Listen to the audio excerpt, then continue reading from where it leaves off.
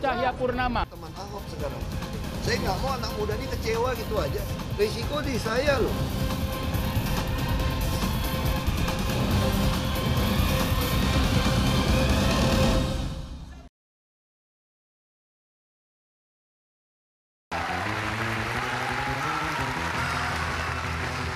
pada saat krusial seperti halnya sekarang, Anda memutuskan untuk maju secara independen. Ikhlas betul-betul melepaskan embel-embel parpol, kalau lewat parpol kan jauh lebih mudah. Ya sebetulnya bukan soal kita mau lewat parpor atau tidak gitu ya. Prinsip saya kan dasarnya itu kan kepercayaan sebetulnya.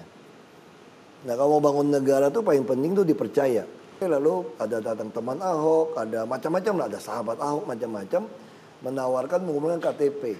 Ya saya katakan aja, Anda nggak usah ngomong dulu lah, kumpul dulu satu juta lah.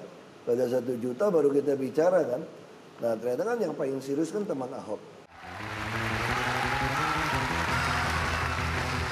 Kabar terbaru, kalau misalnya jadi dilakukan revisi undang-undang pilkada syarat untuk maju calon independen diperberat. Itu juga Anda melihat upaya Bagus menjegal dong. Anda? Enggak, enggak. Aku enggak melihat. Aku cuma melihat si teman Ahok sama bapak-bapak dukung aku kerja lebih keras kalian. Dua kali lipat loh. Jadi itu bukan itu Ya. bukan bukti bahwa memang orang mencari-cari kesalahan Ya, Ahok, itu itu tanya Ahok. Hmm. tanya sama beliau-beliau aja lah. Buat saya sih oke-oke aja. Sebelum mulai saya mau cek mau ukur tensi dulu nih. Enggak, karena biar kita jelas nih, malam ini akan marah-marah, malam ini akan banyak ketawa. Saya cek mood dulu nih, mood Ahok nih sekarang gimana nih moodnya? Tergantung obat. Tadi pagi minumnya pas satu tablet. Ah. Jadi jadi nggak akan nggak akan kenceng nih malam ini. Nggak harus harus beda Pak Ahok di mata Najwa tuh siapa pun yang datang harus belak belakan harus beda. Ya, obatnya masih pas kok kayaknya. Masih pas ya?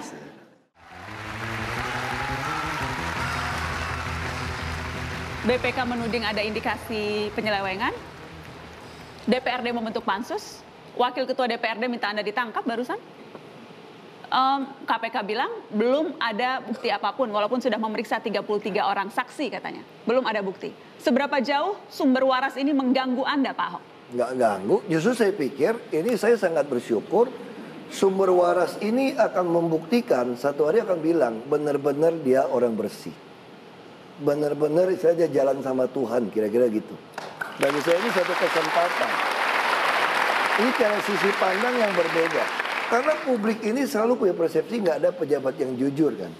Di dalam KUA PPAS, Kebijakan Umum Anggaran, Prioritas Plafon Anggaran Sementara, disebutkan dengan jelas prioritas itu apa? Untuk pembangunan bidang kesehatan. Karena itu membeli sebagian lahan rumah sakit sumber waras. Ditulis tuh. Saya punya dokumennya kok. Kalau Anda mau lihat, ada dokumen disebutin KUA PPAS, tanda tangan dia semua, beli sebagian lahan. Baik itu UPS Pak Ahok. Kita fokus ke Bukan, sumber bukan, sumber waras. sumber waras. Justru yang ada Apakah di dalam spesifik dokumen, disebutkan penyebut, disebutkan untuk pembelian rumah sakit? betul, lengkap. Ditulis memberi sebagian lahan rumah sakit sumber waras. Saya tidak mau berdebat soal argumen mengapa digusur karena itu sudah sering saya sudah saya Iya, sudah hafal apa argumen Pak Ahok kenapa harus menggusur. Ya. Yang saya ingin tanyakan lebih ke proses. Pendekatan persuasif yang dulu kerap dilakukan Pak Jokowi di Solo mengundang orang makan berkali-kali sehingga prosesnya enak. Buat Ahok proses itu tidak penting. Oh bukan, ini yang salah nih. Waktu Pak Jokowi di Jakarta, Pak Jokowi juga lakukan persuasif kok. Undang makan, ketemu, cuma tidak bisa selama di Solo. Pak Jokowi, Pak Ahok, Oh enggak, makanya dengerin dulu.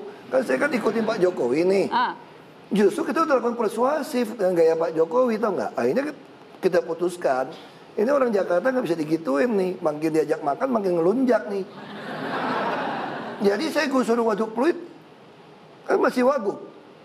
Emang Pak Jokowi nggak tahu? Pak Jokowi juga sepakat. Orang Jakarta beda sama Solo nih Pak, Bu.